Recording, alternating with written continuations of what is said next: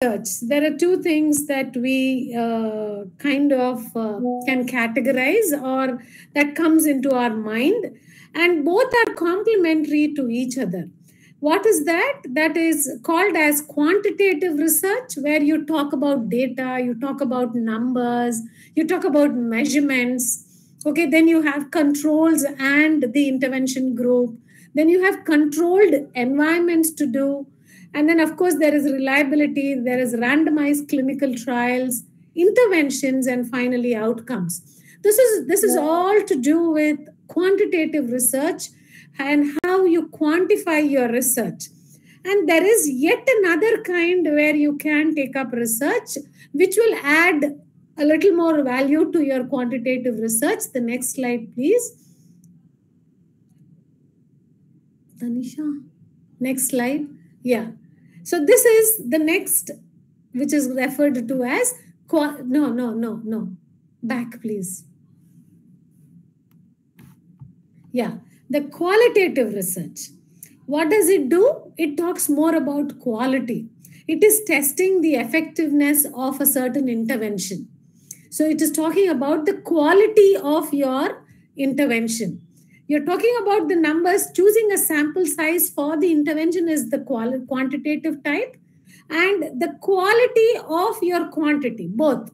When you do the same intervention, say, supposing you're trying to see the impact of or the effect of a Mediterranean diet in cardiovascular diseases. Okay? Uh, so when you take a small sample of 50 patients and you do this Mediterranean diet, may not be so effective. The outcome may not be so effective, or you cannot say that this can be applied to everybody.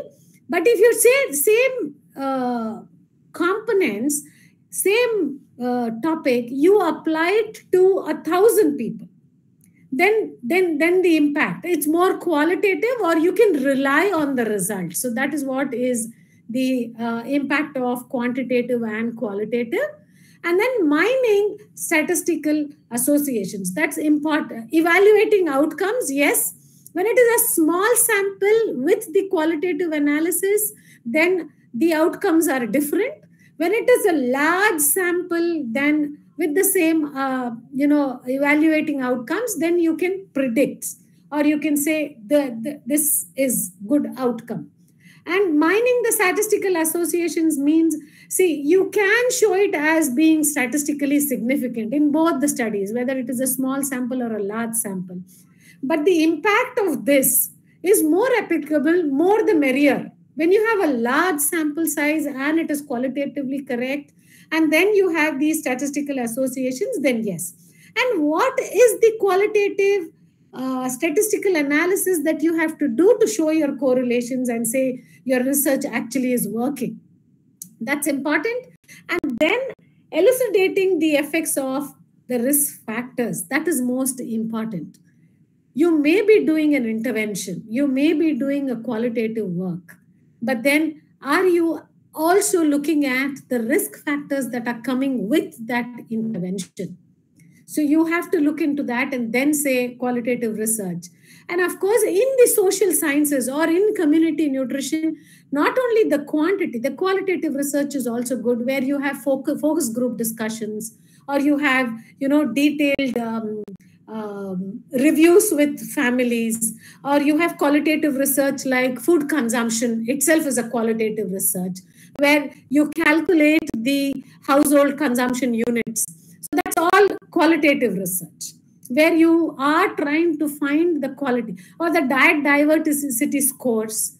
They, they, this is all to do with different kinds of and then there are no risk factors in that that you have to see but risk factors are always there when you look into some kind of intervention studies especially that involves a human study. The next are you i'm moving my slide. Okay. The uh, Academy of Nutrition and uh, Dietetics uh, said that research for nutritional principle uh, professionals can fall into these four categories where it is an uh, interlink between practice, education, and the policy.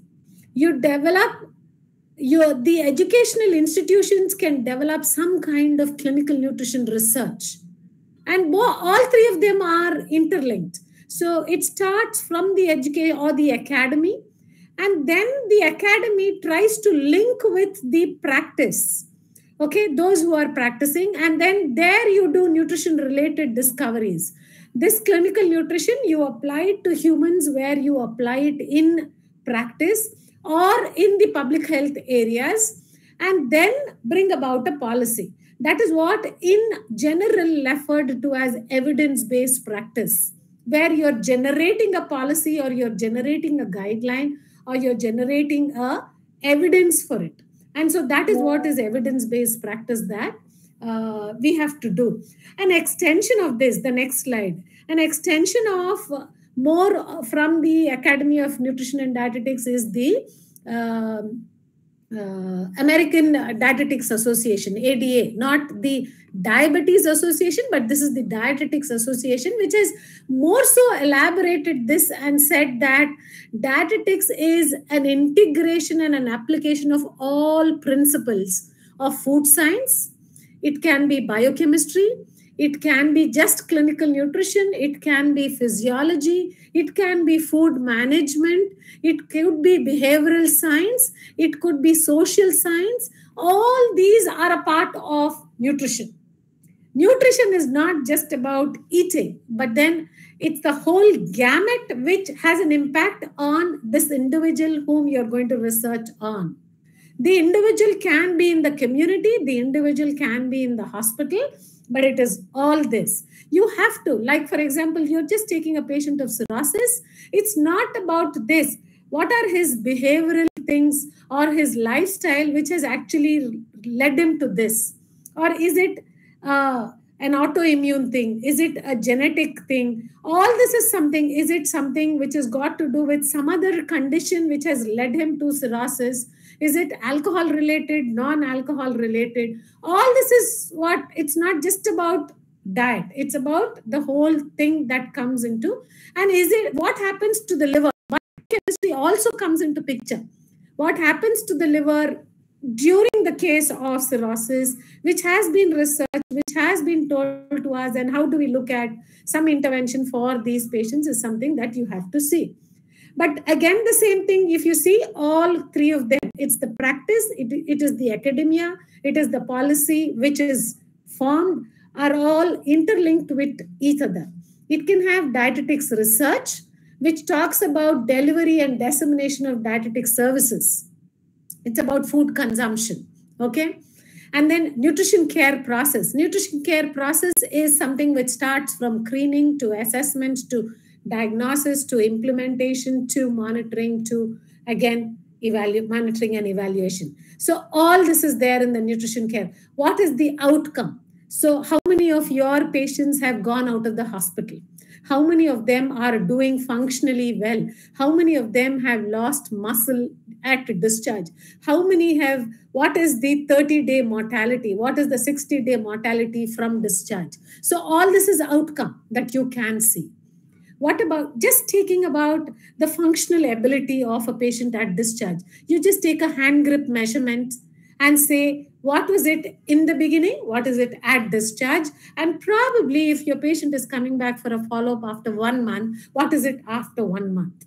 It's, it's a very simple thing, but then gives you a lot of insight on the functional ability of a person. This is the outcome that you can look at okay? And then nutrition interventions itself. Nutrition intervention is i'm trying to give a low salt diet to a patient. What has happened to that? What has happened to an, as an outcome that i can see? So these are all nutrition interventions that i want to see. Nutrition research is also there. This is called as a basic science research where you do about uh, you know uh, molecules what, what, what happens to this? Say, for example, I am just taking the lipid. What happens to LDL when I give this is a basic science. I can't do a rat study, I can do a human study, but I have to know. So I'm just giving curcumin. So then what, what is happening to curcumin in the body? Has is it helping? I give it to healthy individuals, I give it to people who have uh, cancer and then different types of cancer and then see the effect so that's a basic science. And then you're trying to find health biomarkers for uh, you know trying to uh, say that say, say supposing some inflammatory marker say il-6 il-10 the interleukins or um, you know tumor necrosis factor. What is happening to them when i'm giving an omega 3 is the inflammation reducing? Is the inflammation going up? So these are all biomarkers that i will see. And what are the nutrition functions that they perform in the body? For example i'm taking fiber.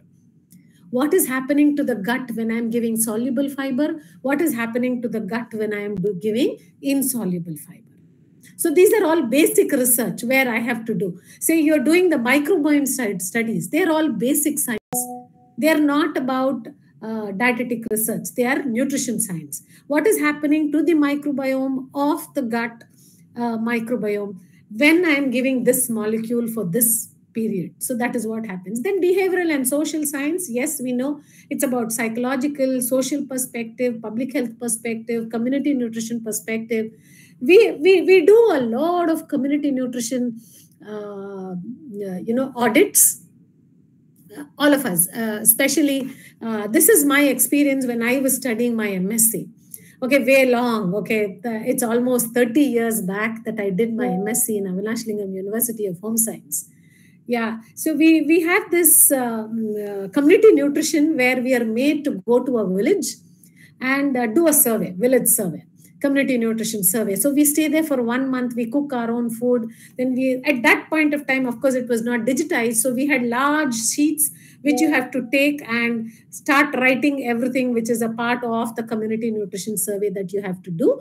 And towards the end, after collecting the whole data, and of course, the analysis was going to be done once we go back, but we had to do nutrition education. We had to go house to house visit and do about the various uh, you know nutrition education on the balanced diet how to take and not to take. So what happened is uh, while i was doing this there was one very smart old lady who said um, okay good uh, you you come and you've spent one month with us and nice that you're trying to tell us what is the lacuna that we have and all that. Good you're also educating what to eat what not to eat. But where is the money she asked me then I had no answer. So, so I had to actually take in consideration that uh, the financial status is also an important contribution, important component contributing to nutrition. We have policies which talk about food security, but we don't have policies which talk about nutrition security so it's research which has to talk. So you it, it, it is the whole gamut which we have to look at when we are doing research. Then management research is about human research. That's about more about hospital management could be community nutrition management and all that. I won't go detail. Then basic sciences is about biochemistry. Okay cellular and molecular biology physiology genomics. Genomics is coming in a big way it's coming in a big way and uh, they're promoting it as having personalized nutrition. We'll know your genes and give you what diet your genes require. So that that's still a very um, early phase but uh, it can go large. And then comes the food science of course, we did a part of it when we were doing our MSc in food science and nutrition, where you can do that, where you know about what happens when you're doing something. Food science, you have to know because this is very important when you do your, um, you know, some intervention study. That, that will come in my following slides where I will explain on that because food uh, research is very, very difficult and I'll explain on this component when I come there. The next slide, please. So, so there is a relationship between varying types of dietetic research. It can be any one of these, and the arrows keep coming down and keep going up because the starting point is somewhere and the end point is somewhere. So it's like translation research generally starts off with the academia, where they identify a question investigate the mechanism in a lab, okay? Then probably do animal trials and then take it up as clinical trials. then apply to a large medical center. So you, you know, sometimes when you have nutrition department, then you do that, and then you apply it to your uh, attached hospital. Say, supposing you take uh, what can I take? A PSG, PSG College in Coimbatore, or you take uh, Manipal uh, College and Hospital, or you take the Ramchandra College and Hospital, where you can do the clinical trials, animal studies in the basic labs. And then convert the same thing and do it with your patients attached. So that becomes more easy. And of course, we do have a basic science lab in our own hospital. We do the basic science research, although we are a normal corporate hospital. We do a lot of basic science research and then we apply it to a large population in our own hospital. So that is something very useful and apply it to small facilities and then see whether your research question is working in human population or not. Or you can take up epidemiological studies, which are large studies and then needs a lot of funding. You eh, everything is the same. You have to identify your question.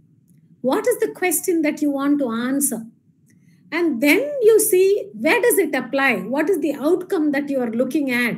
Is it going to be useful or not? And then you start applying and analyze the relationship, test the factor as an intervention, and then apply it in practice. So that is what. So large epidemiological studies have been done and they look at it. Like, for example, um, uh, uh, what can you say? Like diabetes, prevalence of type 2 diabetes, and you do large epidemiological studies to see impact of diet on the prevalence of type 2 diabetes. And what is the difference of diet in type 1 and type 2 so you can do this in large thing. And then practice based this is more to do with the hospital based where you identify a pa- pattern. Say for example uh, you know we keep having these patterns in diet like for example the keto diets that's a pattern where you know you have large people trying to practice. So that is you identify that pattern. Or off late now what is in vogue is uh, your intermittent fasting. Okay that's a pattern where you have large population trying to do the same thing. So you want to do that and you ask a question on that pattern. Is intermittent fasting going to help in weight loss or is it going to help in reducing blood sugar levels it could be either one of the questions, it could be both the questions. And then you work with research experts to design a study for this because your question is that. And then conduct the study in multiple practices. So you go to different age groups, different communities, okay, different areas, and then you keep trying to assess whether this pattern is the same. What is the pattern? and then analyze the data with research experts and then see whether it is actually good enough for applying it in practice. So, when does it get into applying to practice? It should enter a guideline. It's not as simple as saying that, okay, I found out that intermittent fasting is good and there is good amount of weight loss and, of course, uh, good change in the blood sugar levels, glycemia. And so let's uh, apply it in practice and promote it. No, it has to enter into the guideline. Entering into the guideline is not so easy. One study does not allow you to enter into a guideline or a practice point or a consensus report, also for that matter. So you have to uh, do a large number of studies to support your question or a pattern so that it enters into a guideline. Like, for example, uh, they said consumption of sugar. That's a pattern. How much of sugar? consumption of salt how much of salt and then what is the impact so you have large number of studies and so it is there in the guideline how much of salt you should have as a practice so that, that this is what is thing and then you have these quality improvement programs which is like you know you uh, before and after study. It's like a before and after study. You identify the problem, you collect the data, you find what is the cause of that problem, trying to find out different causes for that. Then you engage everybody and you identify a solution. That's important. You identify all the causes, then you identify a solution for it. And then test that solution, whether it is working or not. Then collect the data again and see whether the solution has worked. Test more solutions if necessary and then implement that solution. This is like a quality improvement program. It's, it's in local uh, language, it's called before and after study.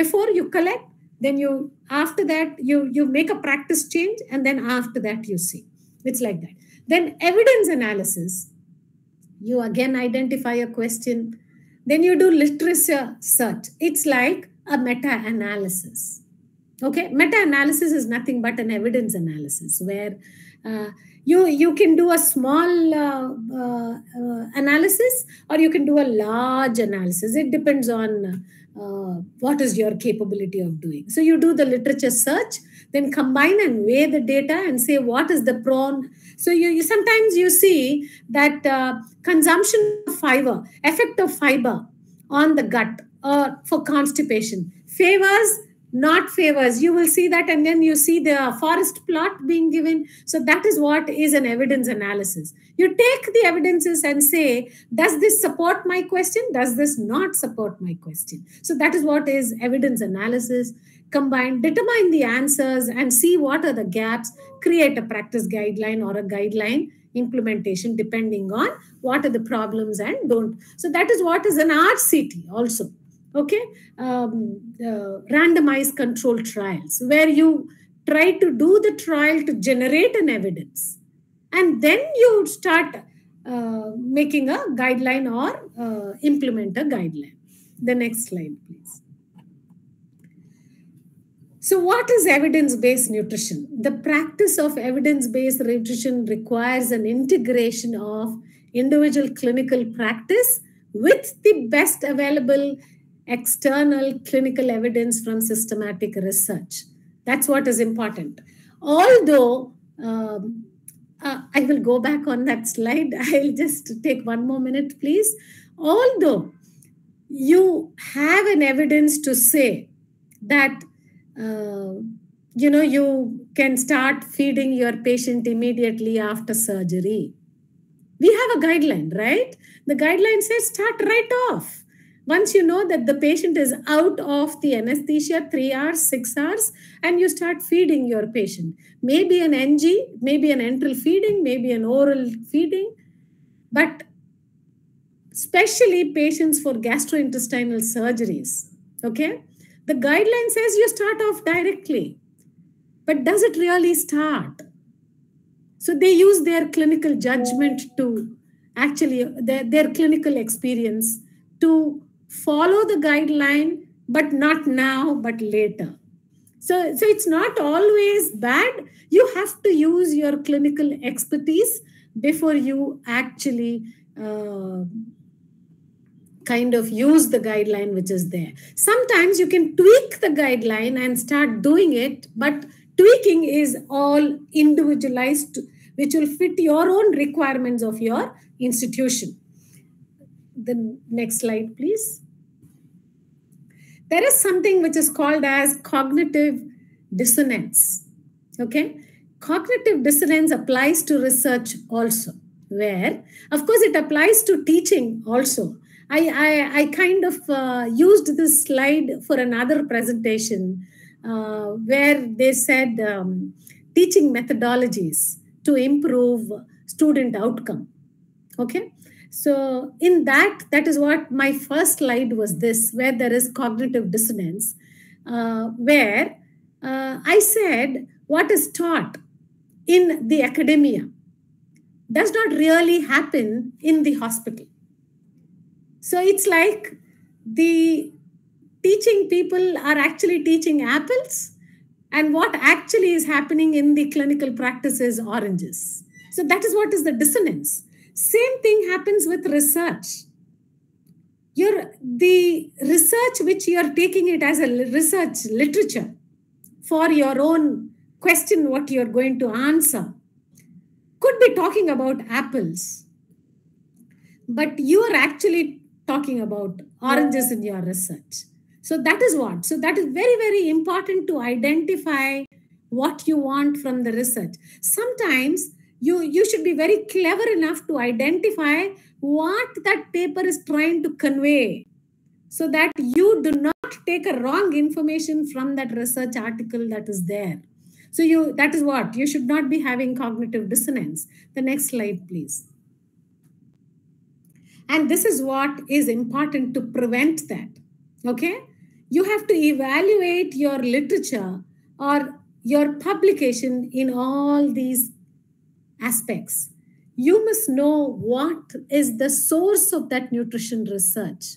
Is it a is it a source of a peer reviewed journal? Is it a single study? Is it a systematic review? Is it a meta analysis? If it is a single study, it has no value as compared to a meta analysis which combines thousands of studies. Yeah, so that is what is important. Is it a peer reviewed journal or is it something that you've paid money and uh, not really reviewed, but you paid the money and so they published your paper? So that is what. Does that have an impact factor? And what is the impact factor? Having an impact factor is also not important, but what is the degree of the impact factor, which will say what is the quality of the papers that they accept. So that is what. And what is the population that the study has studied? Which population has it been proven to? Is it an animal study? So does that really apply to the human study? Is it a human body, human model of the study? But does it apply to your set of human population which you're trying to take? So you should know that. And what is the study type? Is it an observational study? Is it a cohort study? Is it a case control study? Or is it an experimental trial? So all these will have an impact on the outcome. And what are the methods that are used to collect the data? Like, for example, if you're talking about screening and assessment of the nutritional status of a patient, are you actually using a validated tool or are you actually using created a tool which you just wanted some information? That makes a difference. The data collected using a validated tool. For example if you use a food frequency and you want to publish your paper and saying that i found out all this using the food frequency food frequency table then the publisher will get back to you and ask was your food frequency table validated? So that's what is important. So, is your tool validated to actually trust that paper for you to follow it in your own research? And what are the results? Is it statistically significant? That's most important. Or is it just a trend that they are showing? Having a trend is different from statistical significance. And what is the significance that they have quoted of for proving their point? And after all this, is it clinically relevant to you? That's most important. That outcome, what they have told in your paper, is it clinically relevant to your research question? You just cannot take any paper and start working on it and say, yes, they support it. Because their environment of proving is different from your environment of your question.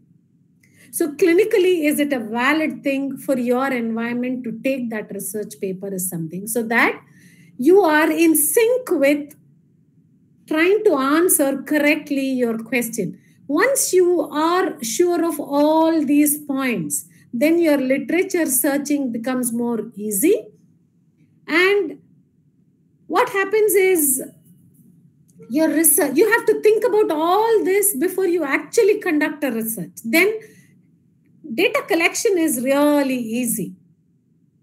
And your results come out easily, then you can actually write a paper very easily. The next slide, please. So, this is what. Once your research is done, you produce the evidence and then you publish it. That is what is evidence being available. And then use the evidence to get research into practice. For in, it could be that you're using this practice for individual patients or could be using it for a large population. Depends on where you want to apply that. Like, for example, producing evidence long time ago, long time. I had just finished my MSc a little after that when I was beginning to work with NIN. They had done research on what is called as ultra rice. Okay, they named it as ultra rice. Ultra rice was nothing but what they did is they mixed uh, a chemical component of iron, okay, composition of iron in cooked rice Okay, they, they cooked the rice, they mashed it, they mixed this iron, uh, whatever composition that they want in the quantity which they actually did analysis. Okay, and then they passed that paste of rice through an extruder and made it like a rice grain. Okay, and then dried it and it looked like rice. And they named that as ultra rice. That is, it is iron fortified rice, basically, to explain.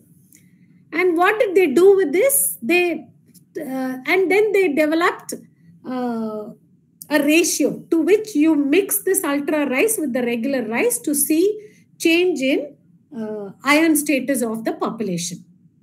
Because anemia is a large uh, problem in our community, and so we would want to know whether, the, because, and rice is our staple. And so you correct anemia with the staple food that we are eating. So they did that in the community work, and NIN proved that iron status improved with regular consumption of ultra rice. And given its limitations of various other attributes to why iron deficiency anemia happens and how you can apply it once they did this they have to give it give it back to the ministry and say we did this research and this is the evidence. Now you can put it into practice. That is they have to introduce it to the populations. Introducing it to the populations is they have to identify how to mix ultra rice with the regular rice so that it is not misused. So that is what. So doing research is one end translating it into practice is another end. It has its own limitations, risks, and benefits when you convert research to evidence. It, it took it, it, it has taken many, many years for it to be implemented, although research was done very long time ago. So that is what is the, all about research and converting it into practice for maybe for individuals or populations. The next slide, please. And what are these steps in conducting research? You define the question. We, we all talked. Propose the hypothesis or the purpose of conducting this question. Then plan the research design. Critically appraise the literature that is there. Conduct the research. Collect and analyze the data. Interpret the results apply the results in clinical practice, evaluate your performance. Okay, so let's take defining the question. I just want to know the nutritional status of the patients, or I want to know what is the uh, consumption pattern of patients in a hospital. So, or I can say nutritional status and consumption patterns of the patients. So then I will say why do I want propose the hypothesis? How do I want to do the uh, evaluation of nutritional status of patients? Do that. I do it by one validated tool, or I can say, I don't want to just stick to one tool. I want to do two methods and see what is the outcome that I would get in predicting the prevalence of the nutritional status with one tool with the other tool. And then I will say, once I know the nutritional status, I also, because there is one consumption pattern that I want to know, say, supposing I have said I will take patients, whoever get admitted to this hospital for one month, I will do the assessment of the nutritional status. So, say, supposing there are 1,000 patients every month who are admitted, then I will assess the nutritional status of all the 1,000 patients. And then I will say, I will take 25% of these patients and evaluate their intake. Okay? So, what I will do, I will follow them up, what they are eating, what has been given to them, what they have been eating for during their hospital stay. So then I will know what is their adequacy of eating. So their consumption pattern. Okay. Once they know that, and I uh, collect the data, collect the literature, I, I put on my points on what all things to collect and then how to connect, how I develop the correlations, the eating pattern, and then how much is the deficit, what is the adequacy, everything I do then apply the results to clinical practice is most important because I've got the results saying that 50% of my patients were only eating 50% of the food that is given to them. Then 25% of my patients were eating only 40% of the food that is given to them. So then how do I apply that to clinical practice? I need to have a solution. So what is the solution? Because I have generated uh, information on the eating uh, adequacy of the patients. And I want to make this 50% consumption to 80% or 90%. How do I do that? I have one data.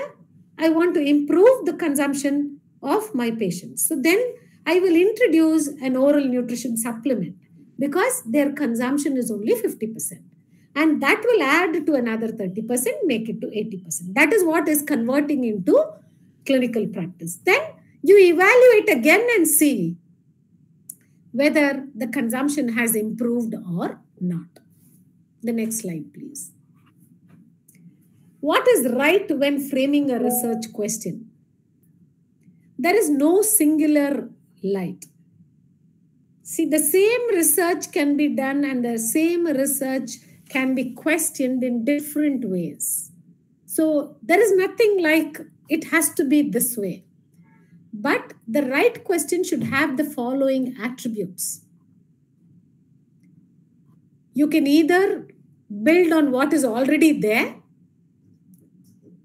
or you question what has been proved. Say, for example, there is research already which says that there is prevalence of type 2 diabetes in young children. So you already know. So you can build on that also. What you can do? All the young children who come to your endocrinologist or a general physician you get their blood parameters checked your associated factors checked to see if there is a prevalence of type 2 diabetes among these younger children when i say younger children less than 18 years of age. Okay, childhood type 2 diabetes. Okay, or and they say in a country like India, the prevalence of type 2 diabetes among children is about 3 to 5%. So you already know it. You build in your own community and say, does that same 3 to 5% exist in my uh, population or not? You test it. That is one way. Another way is you challenge it and say, it does not exist in my community. And you prove it. Either way. And the next question is be as precise as possible. You cannot do everything under the sky with one research question. What is it? You have to be sure of what are all the data points that you want to collect. And what is the value addition of these data points to your research question irrelevant data points need not be collected because that is not answering your research question. Okay? And then be likely to yield unambiguous and interpretable results. Your research question should able to yield, give you very good results which can be interpreted or which is not confusing, which can be applied or which is understandable, then that is the right kind of research that you can do. The next step, the next slide, please. Next slide. Yeah. And once your research data has been collected, then you have to do data analysis. You prepare the raw data for analysis. Okay, you need to enter and see how much is there. And then say supposing inadequate data, those people have to be removed from the data what you've entered. And then cleaning the data is that. Okay. And then coding the data. That's very important. When you go in for a statistical analysis, you need to code all your qualitative data, quantitative data, and you have to go accordingly. Like, for example, you want to, you've collected data in such a way that patient, patient plate consumption, for example, how much the patient has eaten. So you've collected data with the plate model. So if he's eaten everything, the whole plate you've ticked. If he he's eaten three-fourths, then you've ticked the three-fourth plate. If he's eaten 50%, you've ticked the 50%. But each one of them, one, two, three, four, five, six, seven, eight, and not eaten at all. Each one of them has one code. And so say, supposing you have patient A has eaten everything, then you give code one right there, code two. So that is what is coding. Then choose the most appropriate data analysis techniques. That is most important. To prove your point, your statistical analysis should be correct. What to use, when to use, which to use, you should know. You should have good knowledge and, of course, discuss with your statistician. You're, we cannot be jack of all arts. You should have the knowledge, but take the support of the statistician because it should not be that the statistician does what he or she knows. No, they should do what you want. And so you should also know what you want. So that is what is important. And then analyze the data, interpret the results, develop correlations, develop associations, develop the impacts, outcome. Say, for example, I did one study.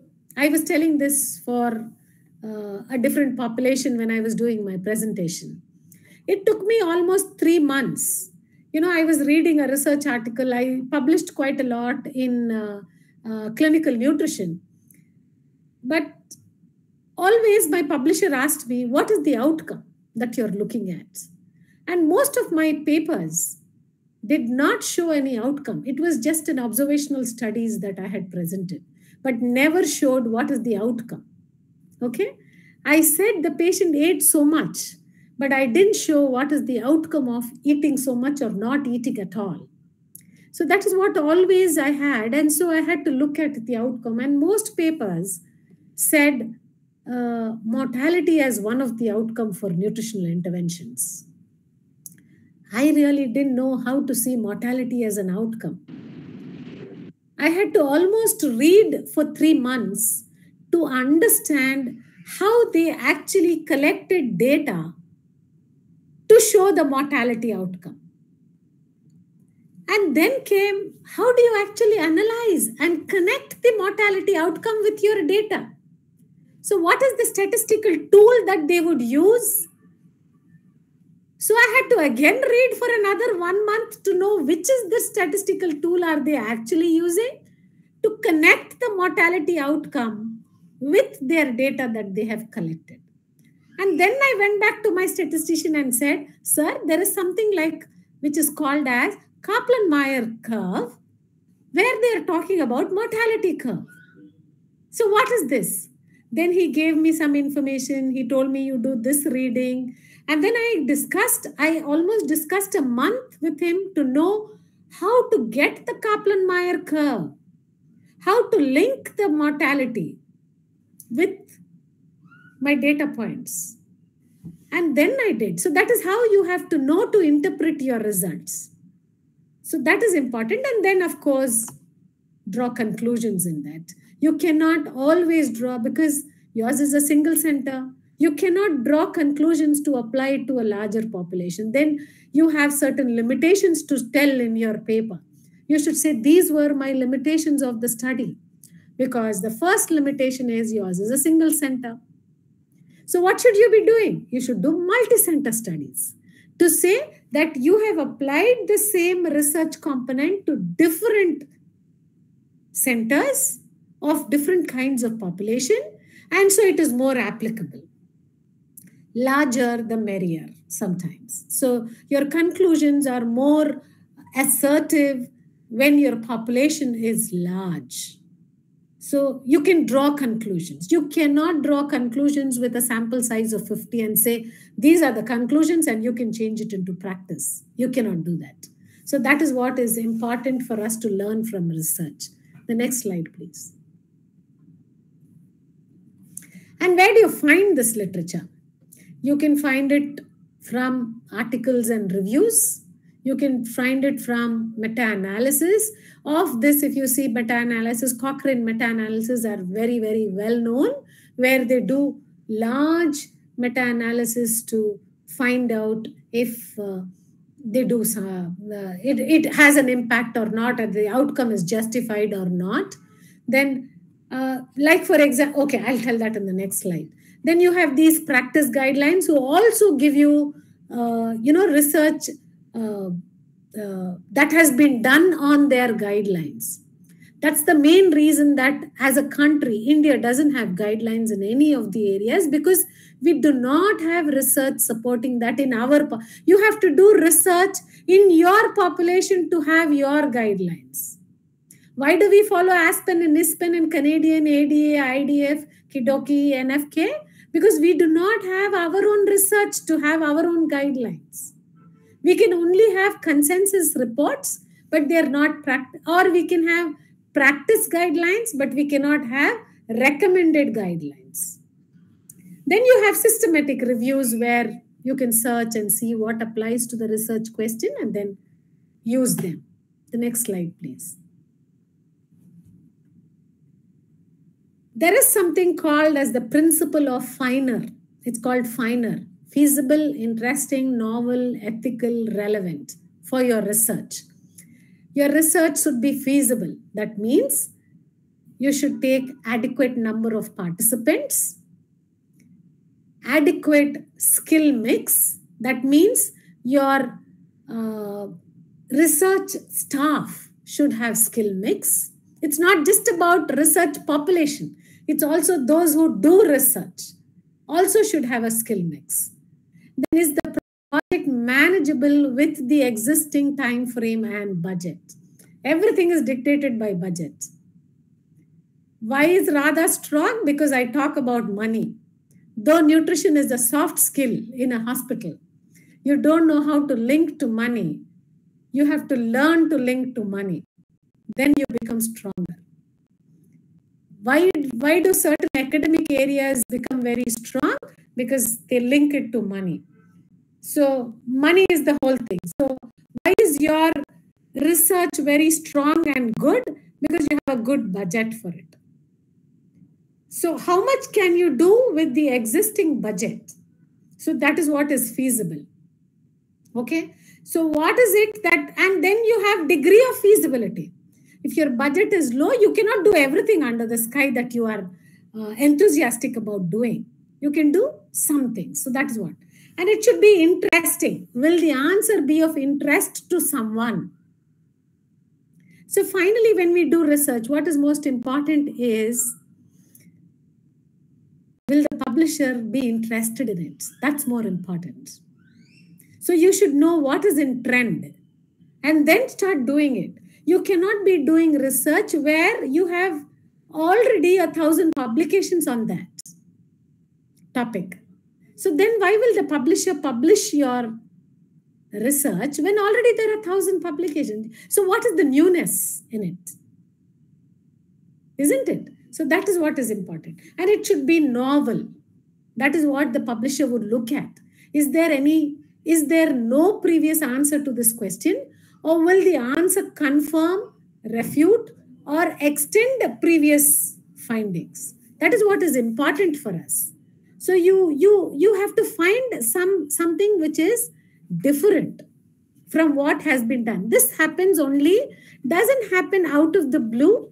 You have to start continuously reading updating upgrading and be in touch with what is running what is there now existing what is the research level that is happening and then go ahead trying to use and see whether you want to do the same thing in your own population. Then will some, and what is most important in these research angles is you, it has to be more ethical. especially when it comes to certain interventional studies. Will somebody get hurt during this study? That's important. Okay, so say supposing you're testing a molecule. You know, you have these uh, clinical trials, especially the medical clinical trials. So you you must know whether uh, there have been any adverse events or will it hurt will it be will it be a benefit or a risk so you have to weigh that and that is what is taking an ethical approval so that is what is the ethics committee going to ask you is it going to be of any harm. Then if it is going to harm then what is the solution to it? How is it that you're going to correct it? How is it that you're going to uh, you know address that issue? That's important. And it should be relevant. Who will benefit from the answer that you're getting? Is it the patient? Is it the hospital? Is it you? Is it the community at large people at large or is it going to help in developing a policy? Okay so when, when you talk about this policy uh, long time ago uh, even now there is but i had taken up i had applied for research under the women's category with ministry of uh, biotech uh, health and uh, family welfare. And uh, under that ministry of biotechnology uh, gives you funding for women who are into research okay so and you should work so i applied for that and then i said okay what i want to do is uh, food supplementation for women with HIV, AIDS. Okay? And the impact with micronutrient, without micronutrient. Because these are considered as at risk group. They were already getting food supplementation or they were getting a food ration, but micronutrient supplementation was not done. So, and I needed to develop a policy on micronutrient supplementation for women with HIV AIDS. So we took up this large study and uh, I got the funding and then we were supposed to do, I did it with uh, Dr. Uh, Hari Kumar uh, from NIN who was there in the public health division. And uh, we went to um, uh, Gandhi Hospital uh, which is one of large hospital here, a general hospital here in Hyderabad, and worked with the um, HIV center. They have a, um, a, center where these people, these uh, candidates or patients come for the ART treatment and evaluation and a health checkup every month. So we went there and then recruited our uh, patients. And so we had to give them food so we had to give them ration of rice, everything that is a part of the balanced diet. So all this is a part of the budget. And then we had to also give them micronutrients. So when we were calculating the food consumption of one, then we said, okay, rice is okay, we will give them little extra. But coming to something like pulses, we had to give pulses for uh, protein. Then we said we cannot give only for her we have to give for the family. Because if we do not give for the family, then she's going to give her portion to the family to eat. So, what, how is her nutritional status going to improve? And what is it that I am going to prove? Isn't it? And then, as part of the protein requirement, we also had eggs to be distributed to them. Same question. I can't give her two eggs per day and say